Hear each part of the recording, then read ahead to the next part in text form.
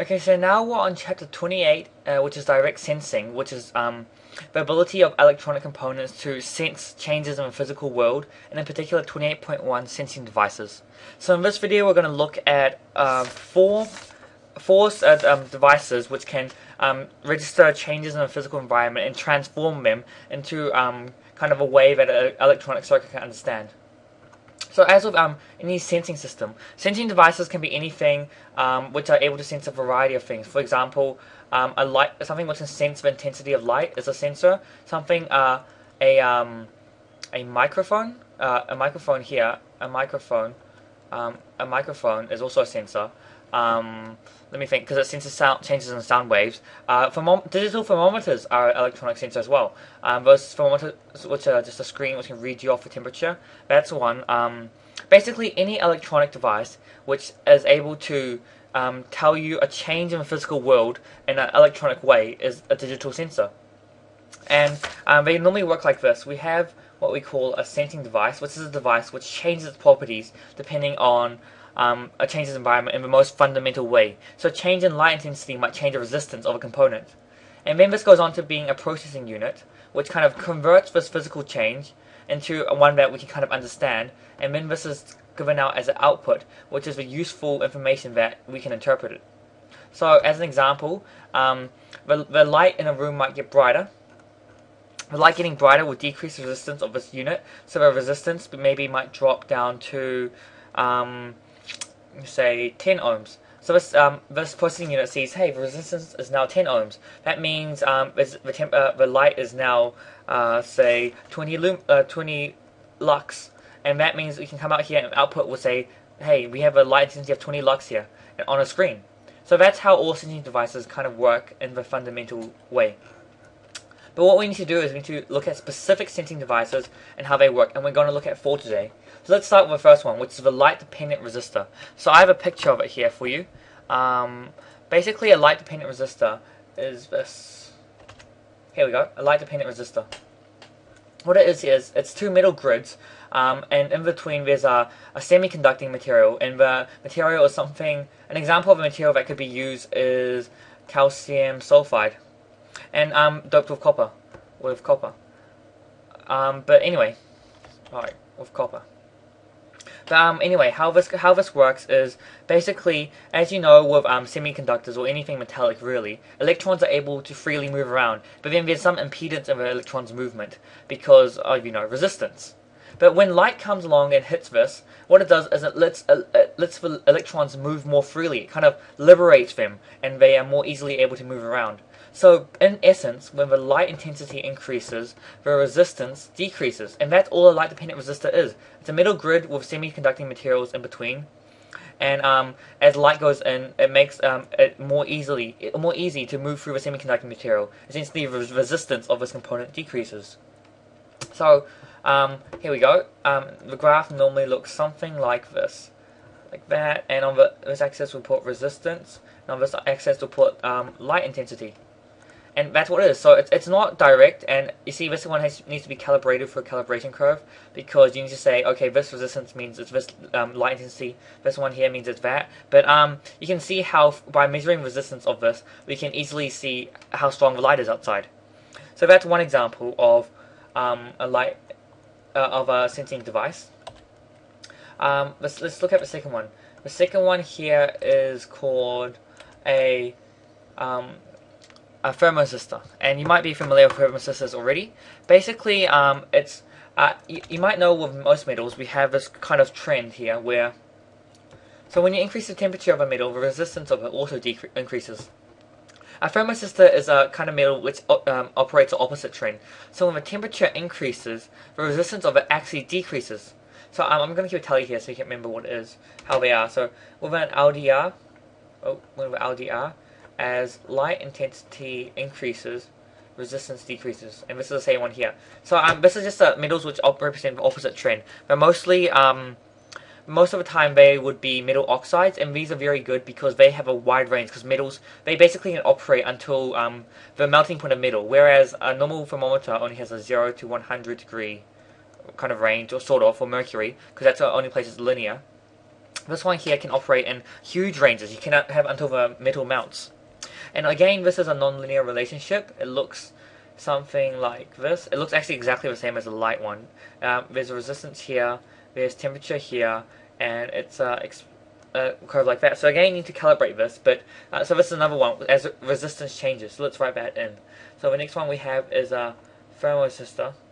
Thermoresistor. Um, and in this one, as the temperature increases, resistance decreases. It's the same trend as the LDR, the light dependent uh, um, resistor. So um, moving on, uh, let's take a look at the next one. The next one we're looking at is something called a piezoelectric transducer. The word transducer just means that um, some anything which can change one type of energy to another type of energy. So this one is something that doesn't use the change of um, resistance. This is what a piezoelectric uh, transducer looks like. Familiar? This is actually a microphone. Basically, transducers change, as I said, one type of energy to another. So a piezoelectric uses ability effect that um, it changes sound waves into uh, voltage. So um, um, this is basically I'll go and this is I'll go into this in more detail um, in a further video um, when we look at sound waves um, and the applications of them in sonar and um, ultrasound. And, but basically, uh, because of the crystal lattice of this um, piezoelectric crystal, you get something called a piezoelectric effect. Whereas when you compress and expand these crystals, they can they create a um, potential difference, and this works both ways. If you apply a potential difference, they create um, uh, it, it creates expansion and contraction. So this can be used to both produce sound, or uh, this can be used if you apply voltage, it can produce sound, and if you apply sound, it can produce voltage. So these are why it's called a transducer. It can go both ways, and um, this changes the what you would call the um, longitudinal waves. If you can't remember what longitudinal wave looks like, I have an image of it here, and it looks like this. Um, it's the best way to visualize this is as a Slinky. So um, at a certain point of compression and extension, and that's the same thing. When a sound wave hits this, it compresses and extends the crystals in it, which uh, which kind of because of a um, uneven distribution of charge, which I'll go into later, um, it creates a voltage. Basically, the uh, the premise is sound waves make voltage. And this is microphones and speakers. A microphone would be the sensing component. Uh, speakers would be the output component. So let's um let's make a note of that. So um, in the piezo electric transducer, um, sound up, more sound equals um, greater voltage into higher voltage. And the last one we need to look at is something called a metal strain gauge. And this is probably the most intuitive one that you're probably quite familiar with. Looks like this. It's very, very simple.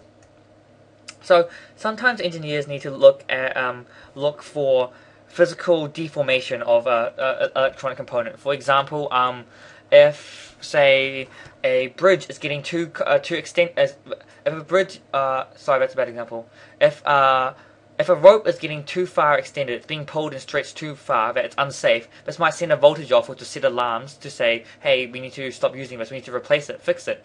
So um, we need to sometimes, this measures physical um, compression and elevation, um, compression and extension. Basically, it's a whole lot of wires like this, and we, we kind of make them into a mesh shape to fit more wires so that the changes can be more easily detected. Basically, this is it's very simply extended along with whatever you're dealing with. So, as you know, um, we have this thing here where resistivity is proportional to um, length over area. Uh, that, and if we just assume the area is the same, as this gets stretched, the length increases, and that means resistance increases. The actual formula is um, rho for resistivity constant, length over area. But anyway, we assume the area of this wire remains the same because it changes negligibly and then the length increases, which means the resistance of this entire thing will increase in a proportional way with um, the light. So um, let's write that down. So this is a metal wire strain, strain gauge. Wire strain. Um, but basically it is, in essence, just a metal wire. Um, so as the um, sorry, the length increases, uh, you get a proportional increase in resistance. Okay, so it's all good and well saying that these components can change the resistance within a circuit depending on the physical environment. But now how do we trans tra change these um, changes in resistance into something we can kind of tangibly compute? Well, this is where there's something called a um, there's two ways principally that you need to know. Um, one's called the op amp, which we'll cover in the next video, and the other one's called the potential divider, which you're hopefully already familiar with, and I'm going to go over briefly now. So a potential divider circuit looks like this. Let me go ahead and draw this. As you can see, three out of these four need um, give resistance, and it's far easier to sense a change in voltage rather than a change in resistance. There we go. So um, let's say we have a battery, which would be our power supply. Um, here's a battery. And then um, the battery goes in and we have a resistor here. And then over here, um, we have our variable component, so I'll call this VC. This might be the LDR, thermistor, the middle, strain gauge, anything. So this is where the um, strain, um, strain, sorry, the variable component goes. And then it goes and connects back to the battery. And then over here we have something called the V out. We put a wires across here, and this is a voltage out. This is voltage which goes to whatever component we want it to go to. So V out. Okay, so um, this is V in. Okay, so um, we have a formula here which we know a potential divider. Remember, electrons go along here, and in the circuit they must deposit a proportion of energy in this resistor and a proportion of this energy in this resistor. And they um, remember V equals IR. So um, because the current in both of these has to be the same, um, basically um, the voltage that goes through them is proportional to the um, the voltage that goes through them is in the ratio of the resistances. So um, the if you remember the the V out over V in, so the voltage which is expended on this one is equal to um, the resistance of a variable um, component over the resistance of a normal component plus the resistance of a variable component. So um, if you can imagine this, if this gets more resistance, the voltage in this circuit would, the voltage going out, which is the voltage um, around uh, passing through this this component here, would if the resistance increases, the voltage uh, would increase as well because it gets a larger proportion of this V in. So this might be a 9 volt battery. If this is a high resistance, that means you're essentially expending uh, maybe like 8 volts or here and 1 volt here. But when the resistance decreases, you'll be expending 6 volts here and only 3 volts here.